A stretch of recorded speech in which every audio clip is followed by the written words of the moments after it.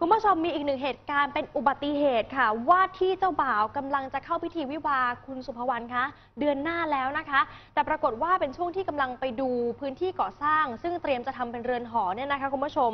แล้วก็มีจังหวะหนึ่งที่เขาเอาปืนที่พกมาด้วยออกมาทำความสะอาดค่ะ แล้วปรากฏว่ามันมีอุบัติเหตุเพราะปืนเนี่ยคือลั่นเข้าใส่ตัวเอง แล้วก็เสียชีวิตนะคะเมื่อเช้านี้ทางเจ้าหน้าที่ตำรวจสพเมืองชัยภูมิ รับแจ้งเหตุมีคนถูกยิงเสียชีวิตค่ะ ปรากฏว่าก็เลยลงพื้นที่ไปที่บ้านโนนมะเกลือที่อำเภอเมืองชัยภูมินะคะ ไปตรวจสอบบ้านที่จุดเกิดเหตุเนี่ยคือเป็นบ้านปูนสองชั้น อยู่ระหว่างการก่อสร้างที่ห้องโถงชั้นล่างหน้าประตูห้องน้ำค่ะ เจอร่างของนายวีรวุฒิจารุเจริญทรัพย์ อายุ 39 ปี นอนเสียชีวิตอยู่บนพื้นห้องบาดแผลคือถูกยิงเข้าที่ศีรษะด้านซ้าย ในมือค่ะ ยังกำอาวุธปืนขนาด 9 มม อยู่ มีปลอกกระสุน 1 ปลอก พร้อมกับขวดเบียร์เจ้าหน้าที่ก็เก็บหลักฐานนะคะ พอไปสอบสวนญาติของผู้เสียชีวิตก็คือนายวีรศักดิ์สมานชัยอายุ 58 ปี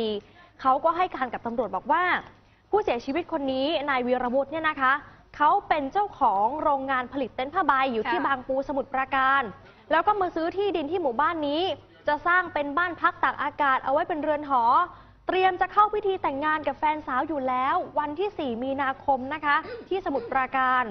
แล้วก่อนเกิดเหตุเนี่ยเขาก็มีการโทรศัพท์ไปหาผู้เสียชีวิต แต่ปรากฏว่าไม่รับสายค่ะ ก็เลยเห็นว่ามันมีเรื่องผิดปกติเกิดขึ้น ผิดสังเกต ปรากฏขับรถมาดู แล้วก็เห็นนายวีรวุฒิเนี่ยแหละค่ะเสียชีวิตในจุดเกิดเหตุเขาถึงแจ้งให้ตำรวจเข้ามาตรวจสอบค่ะ เบื้องต้นนี้ตำรวจสันนิษฐานเลยนะคะว่า ผู้ตายมาตรวจสภาพบ้าน กำลังจะก่อสร้าง แล้วก็อยู่คนเดียวด้วย ก็เลยนั่งดื่มเบียร์อยู่ชั้นล่างของบ้านพัก น่าจะเอาปืนที่พกมาออกมาล้างทำความสะอาดค่ะ แต่ปรากฏว่าเกิดปืนลั่นนะคะ กระสุนถูกศีรษะเสียชีวิต ตอนนี้ตำรวจบอกว่าอยู่ระหว่างสอบสวนพยานแวดล้อมนะคะ รวมไปถึงรอผลทางนิติเวชออกอีกครั้ง เพื่อสรุปหาสาเหตุที่แท้จริงนะคะ